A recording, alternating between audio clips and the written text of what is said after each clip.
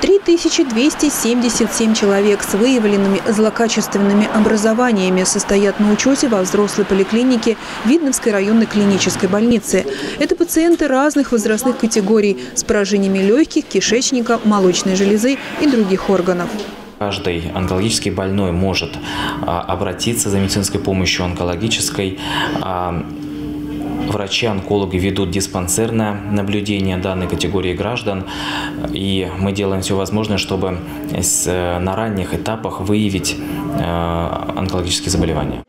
Сейчас в Ленинском городском округе ограничения планового приема больных не было. Три онколога с понедельника по субботу работают с 8 до 20 часов. Расписание очень плотное. Пандемия коронавирусной инфекции еще добавила докторам забот.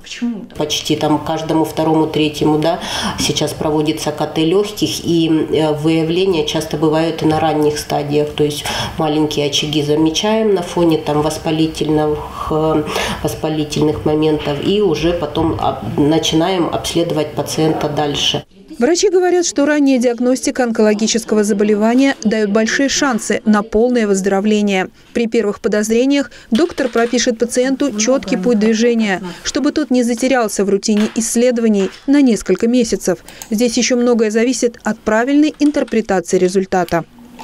Если по УЗИ все недостаточно информативно, мы уже переходим на вторую ступень, это КТ, МРТ, а, и смотрим в зависимости от ситуации, нужно ли делать с контрастом.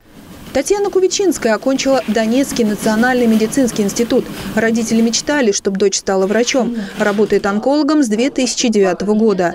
Рассказывает, что очень часто пациенты сами ставят диагноз, в основном неправильный, и тем самым теряют драгоценное время, когда болезнь еще можно победить.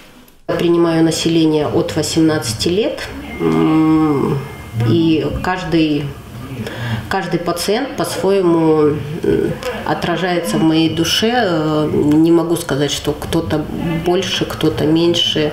Э, ну, естественно, я очень тяжело переношу э, молодых пациентов. Многие пациенты жалуются, что сейчас к онкологу попасть непросто. Да, загруженность у врачей колоссальная, но такие узкие специалисты, как дерматолог или хирург, тоже могут дать направление, если есть подозрение на злокачественное поражение органов. Галина Житко, Александр Логинов, Елена Кошелева. Видное ТВ.